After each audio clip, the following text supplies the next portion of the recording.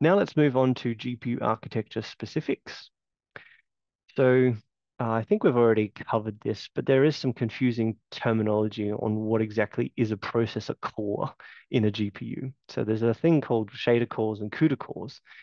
Um, but we define we define a processor core as that which can fetch and issue instructions. So that is what we define as a processor core. So for a GPU, the compute unit is the processor core. And um, each of these compute units, um, they make available um, a number of these shader cores or CUDA cores, which are equivalent, but not exactly equal to um, the uh, individual elements of a SIMD unit in a CPU. Okay, so um, inside the compute unit is these shader cores or CUDA cores, and they um, execute the, for example, the floating point instructions as part of hardware thread teams. Okay, and those thread teams are known as warps on CUDA hardware and wavefronts on AMD hardware. The compute unit is responsible for scheduling instructions, moving data, and can be considered the actual cores in a GPU processor. So instructions are issued by the compute units are executed by these hardware thread teams. And every element in the hardware thread teams so is a hardware thread. And those elements, known as CUDA cores or shader cores, each provide um, the ability to execute floating point instructions in parallel. Okay, so it's sim it's SIMD-like, but the difference between SIMD and SIMT is you um, the compute unit, um, so a uh, a individual hardware thread can signal to the compute unit to say that, hey, I would like to execute this code path. So there is that independence in, in a sense. So the um, the hardware thread signals to the compute unit like I need to uh, execute this code path, and then the compute unit governs all the hardware threads in the thread team to follow that that code path and then results that are not meant to contribute to the result are masked out. So that's the difference between SIMD and SIMT. And I think we, we, we discussed this yesterday. So hardware threads operate in lockstep and in lockstep um, with the units of other lanes in the team. So the hardware threads are called CUDA cores and shader cores uh, for NVIDIA and AMD terminology. So on NVIDIA hardware, these teams are 32 to 64 lanes wide and known as warps. And on AMD, they're known as wavefronts. Okay, so yet we've already covered that, but here is a diagram of uh, the different architectures of GPUs that are out there, but in reality, they're all doing the same thing. They're all implementing SIMT, and um, for the uh, for the um, the NVIDIA um, architecture, you have this thing called a stream processor, um, or the streaming multiprocessor, and that streaming multiprocessor is responsible for issuing instructions to these banks of hardware threads known as stream processors, and each bank um, appears to have 16 CUDA cores in it. So a wavefront is 32 CUDA cores, and so a hardware thread team is 32 CUDA cores wide. And those, those CUDA cores have access to register memory um, that is for that thread team. And they have access to shared L1 and L2 caches. Okay, so that um, that shared L1 cache looks like it is part of the streaming multiprocessor. The same is true of an AMD um, AMD compute unit. So an AMD compute unit, there's a registers area, and then there's these four banks of 16 um, shader cores. And each bank of 16 shader cores is responsible for issuing or for servicing the um, the 64 hardware threads of a wavefront. So, and it does that over four clock cycles. So it takes four clock cycles for this bank of 16 um, to process the instructions for a wavefront, a wavefront of hardware threads. On the Intel um, Xe HPG, you've got a similar thing again, um, but you have these things called Xe vector engines. So the Xe vector engine um, has a register file, and then you have these SIMT units. And I think I think there's um, eight of them um, in a SIMD unit, but I need to check that, sorry. But there is a number of SIMT units um, inside inside here. And so they're all pretty much doing the same thing.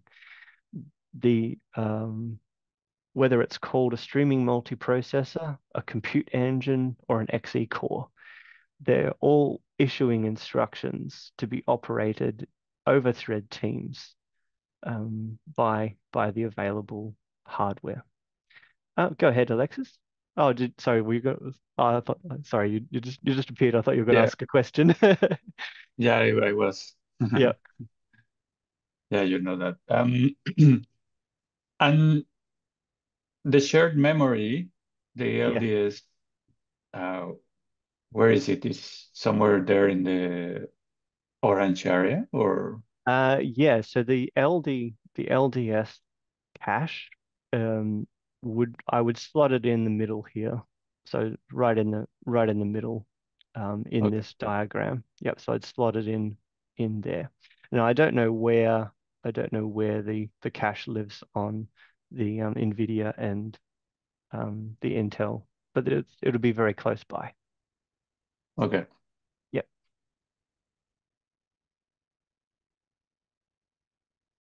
Okay. So there is a slight bit of confusion to navigate when it comes to thinking about blocks and threads.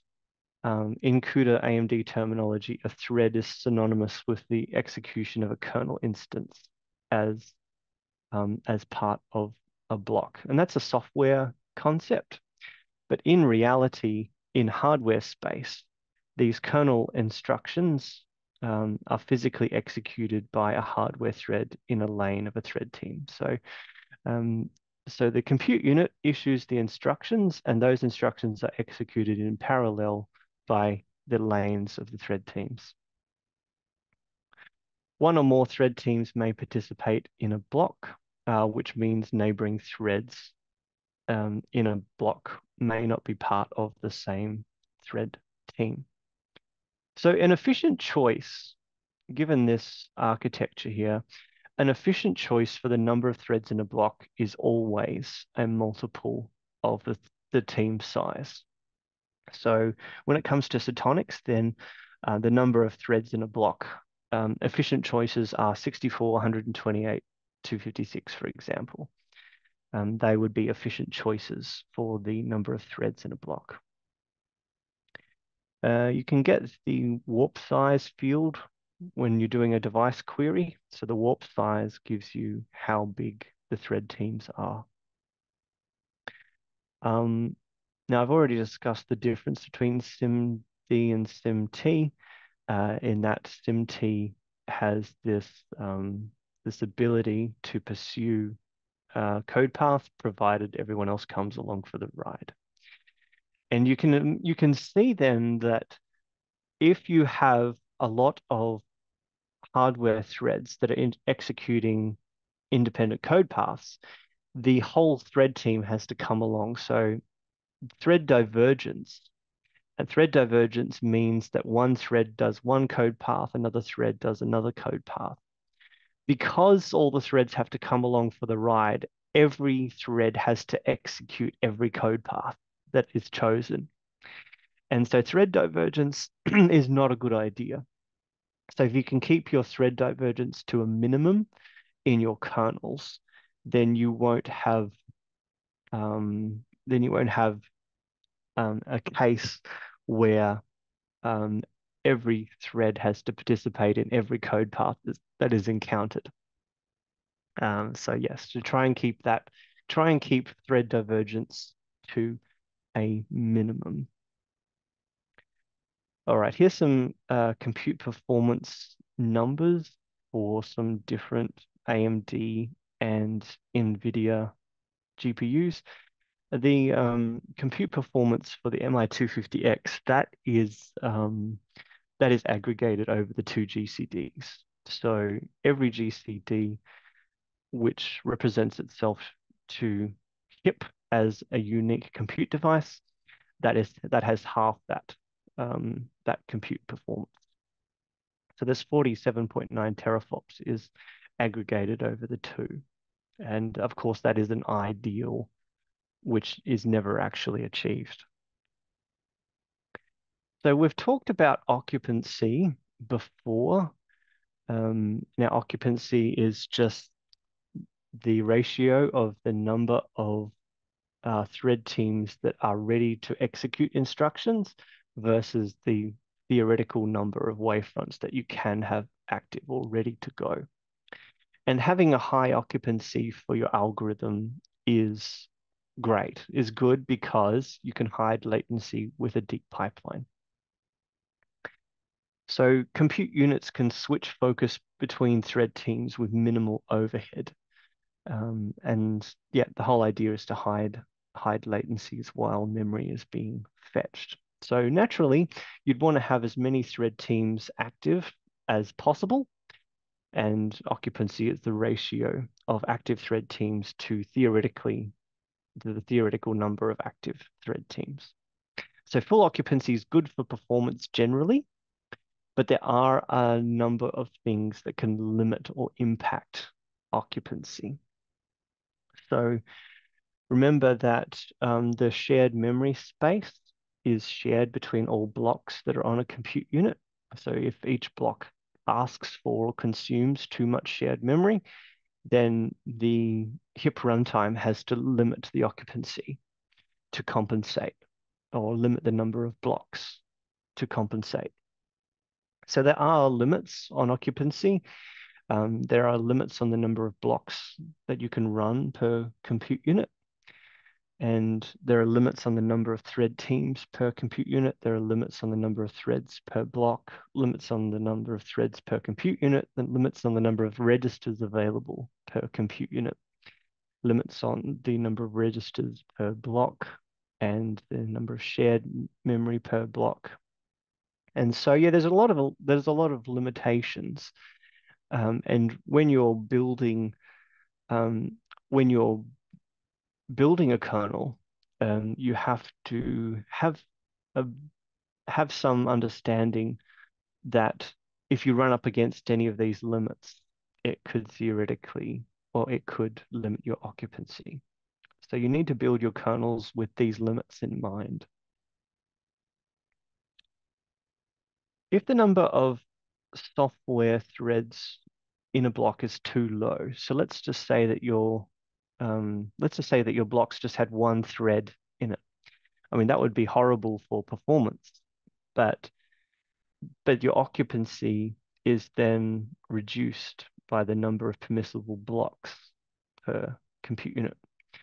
And if you if you have too many software threads in a block, then you might not even be able to schedule the kernel. So I think um, with the MI250X GPUs, the um, the number of threads is limited to 1024 per per block.